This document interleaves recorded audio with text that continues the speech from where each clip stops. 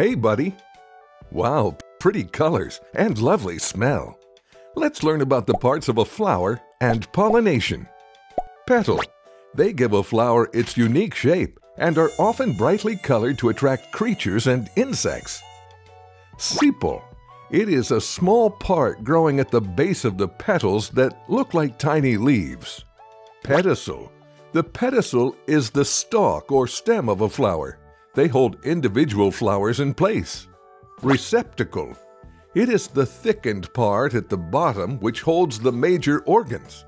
Stamen is the male organ of the flower consisting of two parts. Anther is responsible for the production of pollen, or the fertilizing part of a flower. Filament is the stalk that holds the anther and attaches it to the flower.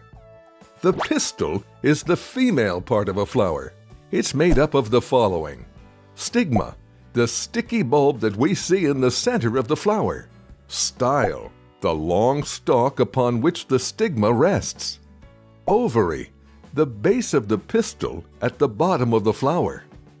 And the ovules, these are the flower's eggs.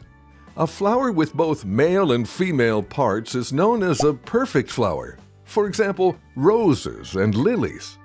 A flower that is missing male or female parts is an imperfect flower. For example, squash and cornflowers.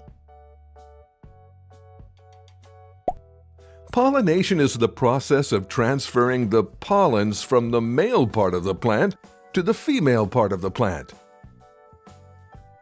This process is used to fertilize the plant and make wonderful baby plants or seedlings. Pollination generally occurs naturally and most often it is due to insects, birds, and mammals. The sticky pollen clings to their bodies where it is carried from one plant to another. Honeybees do more pollination than any other insect. They're called pollinators. There are two types of pollination. Cross-pollination takes place when the pollen goes from the stamen of one flower to the pistil of another flower. Self-pollination occurs when pollen is transferred from the stamen of one flower to the pistil of the same flower.